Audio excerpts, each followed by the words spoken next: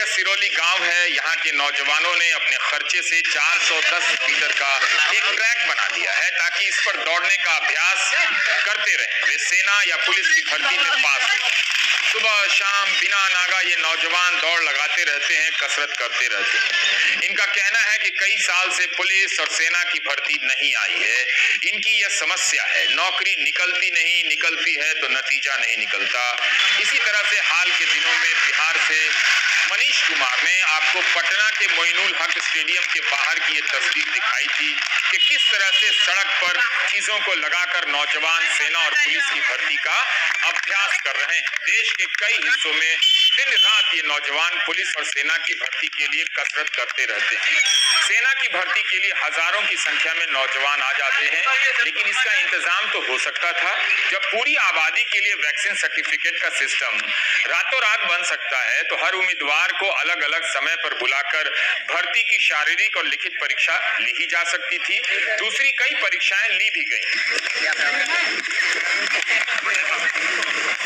ये गाँव सरौली में ये हमने चार सौ दस मीटर का ट्रैक बनाया हुआ है मिट्टी से। यहाँ पर 400 से 500 लोग डेली बच्चे दौड़ करने आते हैं पुलिस की, फौज की भर्ती के लिए। यहाँ पे ना तो सरकार वैकेंसी निकालती है, एक साल हो गई पेपर नहीं कराया अभी तक फौज का। और योगी जी कहते हैं, हम गर्मी निकाल देंगे। गर्मी क्यों निकाल रहे हो? यहाँ पे भर्तियाँ निकालो हम, अपना रोज़गार देखें। और कोई यहाँ रोज़गार की व्यवस्था नहीं करते, इससे तो हम क्या फांसी लगा के मर जाएँ? इस पर करीब 300-400 बालक आते हैं शाम के टाइम और सुबह भी आते हैं और रनिंग करते हैं। हम आर्मी की तैयारी कर रहे हैं। और पहली बात तो ये है, ये किसी की जगह है, कभी भी जुड़ सकता है ये। ना तो यहाँ कोई मिनी स्टेडियम है, जैसे अकोला बना जैसे अपने क्षेत्र में एक मिनी स्टेडियम होना चाहिए तैयारी करने के लिए। एक पैराशूट में भी रनिंग करते हैं, उधर जंप होते तो उस गोला को जोते थे। भर्ती के टाइम पर बहुत दिक्कत आती लड़कों को रनिंग करने के लिए। पैरों में गिट्टी भी लग जाती है, सुबह हम कल शाम को रोड पर गए थे रनिंग करने के लिए, पैर में गिट्टी लग गई है। ये दिक्कत है। दूसरी बात ये है कि बेरोजगारी बहुत है। नौकरी निकलनी चाहिए।